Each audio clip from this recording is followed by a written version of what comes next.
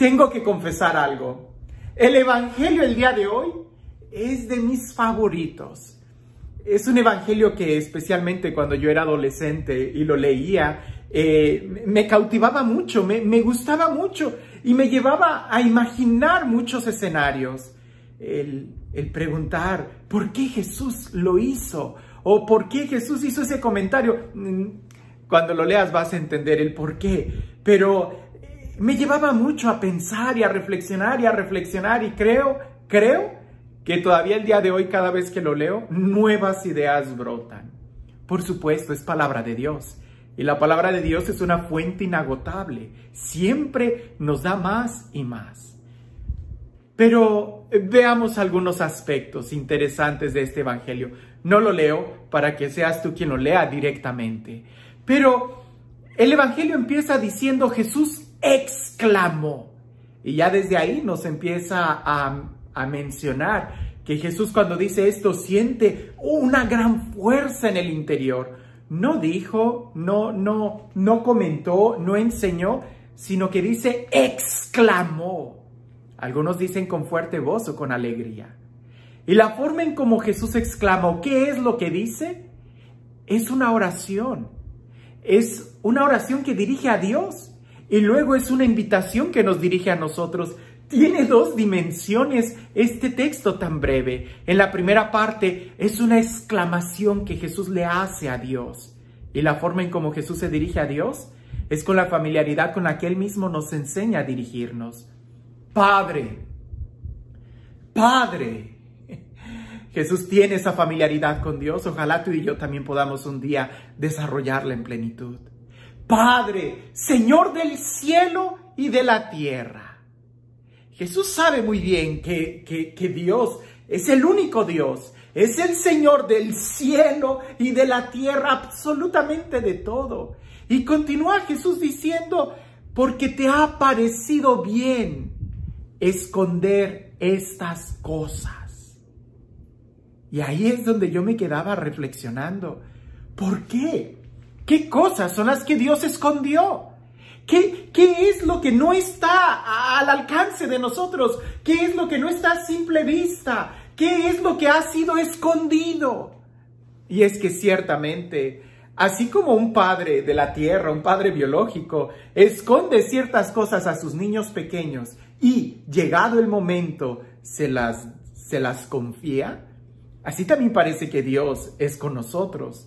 Esconde algunos elementos para que conforme vayamos creciendo y madurando, Él nos los pueda ir confiando. Imagínate a un padre de familia que, le, que deje el alcance de, de la mano a su hijo eh, cuchillos de la cocina. Pues no sería muy buen padre. Yo he visto como mis amigos que tienen hijos bloquean los cajones y las puertas de la cocina con algunas, le llaman como trampas para que el niño no pueda abrir las puertas. Y los niños chiquitos hasta parece que así son. Mientras más escondido, más interés tienen en querer abrirlo. O pensar, por ejemplo, en un padre de familia que le preste las llaves del carro y el carro a su hijo de 10, 11 años. Pues no, no, no sería muy buen responsable. Hasta que el niño crezca y sepa usar con discernimiento los cuchillos se le confían. Hasta que el adolescente sepa eh, actuar con responsabilidad, se le presta el carro, pero no antes. Así también Dios ha escondido algunas cosas. A los pequeños. ¿A quiénes? A los que se creen sabios y entendidos. En el reino de los cielos, los que son sabios y entendidos son los más inmaduros, son a los que no les puedes confiar muchas cosas. Porque una persona sabia, inteligente, madura, entendida, es la que puede echar a perder muchas cosas. ¿Por qué? Porque no confía en Dios.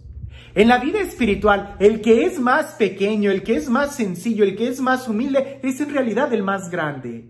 Pero el que se cree muy grande, el que se cree muy sabelo todo, muy, ese es el más pequeño en el reino de los cielos es decir, el más, el más inmaduro en el reino de los cielos. Por eso a ellos, ellos no tienen acceso a todo.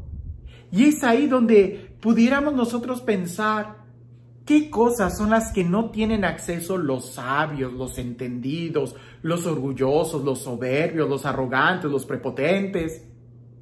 No tienen acceso a la paz. Una persona soberbia, arrogante, nunca tiene paz.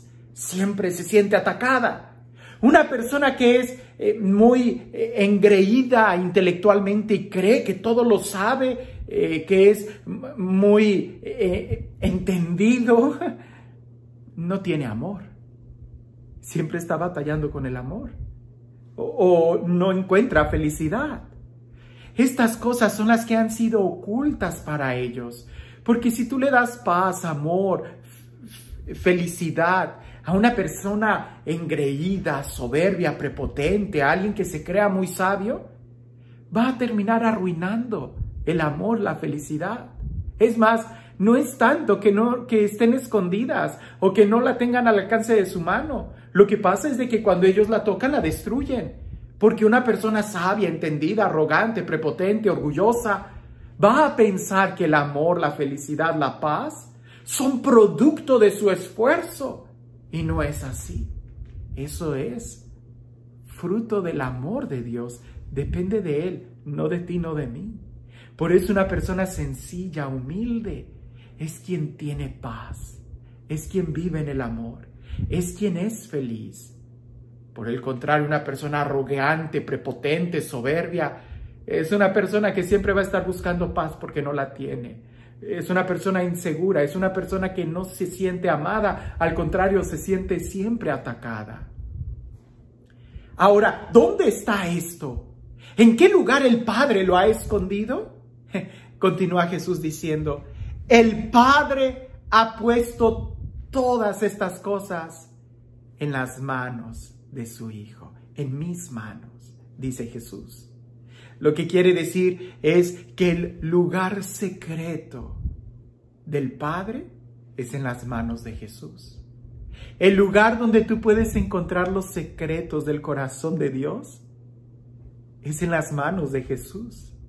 El lugar donde tú encuentras el amor, la paz, la plenitud, la vida, la dicha, la gracia, la seguridad, la firmeza, el autoestima, la libertad, es en las manos de Jesús. Cómo me gusta ese canto que dice, escóndete en las manos de Jesús y deja que los ríos continúen. El lugar donde está el amor, la felicidad, el lugar secreto del Padre es en Jesús. Ahora, Jesús, Jesús no lo toma para él mismo. Jesús no esconde estas cosas, sino al contrario, Él quiere dárnosla. Por eso digo que al principio, cuando Jesús hace esta exclamación, tenía dos movimientos. Una, darle gracias al Padre por haber escondido estas cosas. Y el segundo movimiento de esta exclamación es la invitación que Jesús hace a todos los que lo rodean. Y Jesús les dice, vengan a mí, vengan a mí, los que estén fatigados y agobiados. ¿Te imaginas? Esto que el Padre ha escondido en las manos de Jesús, Jesús quiere dártelo. El requisito es, pues, estar cansado, estar fatigado y agobiado. Ese es el requisito. Querer ir a Jesús y para ir a Jesús tienes que reconocer que estás necesitado de Él. Sentirte agobiado, sentirte fatigado. Y créeme, Creo que todos nosotros en este planeta Tierra, en más de un momento, nos necesitamos. Nos, nos damos cuenta que estamos necesitados de un descanso. Pero el descanso que Jesús da no es de una vacación de verano que se va a acabar o mucho menos de un fin de semana. Es todo un estilo de vida. Ahora, Jesús dice, tomen mi yugo sobre ustedes. Alguien pudiera decir, pero si me estás diciendo que los que estén cansados y agobiados acudamos a ti y luego tú nos invitas a tomar tu yugo, eso no es, eso no es estar en descanso. Es como unos amigos no menciono su nombre, pero ah, que, que agarraron una temporada donde me decían, padre, y ya, ya como sacerdote, pero son amigos, ¿verdad? Padre, lo invitamos a comer, véngase, ¿qué día puede? Y le digo, tal día, véngase ese día. Y resulta que ese día lo que querían era que les ayudara a quitar la alfombra de su casa. Entonces ahí me tienen trabajando y luego, padre, ¿cómo anda? Y le digo, no, pues ando un poco cansado, ¿verdad? He tenido mucho trabajo. Véngase, escápese y véngase con nosotros a tomar una, a, estar en la cena, tomar la cena con nosotros y a tener un momento de distracción. Y ahí voy y también tenían trabajo, mover unos muebles, quitar un closet y cosas por el estilo. Y les digo, oigan, ya no voy a venir. Cada vez que me invitan a descansar, resulta que lo que quieren más bien es que yo venga a trabajar. Y ellos bromeando me decían, padre, es que si le decimos venga a ayudarnos, no va a venir. sí, Siria, no me conocen, sí, Siria. Pero parece que en el Evangelio algo así sucede.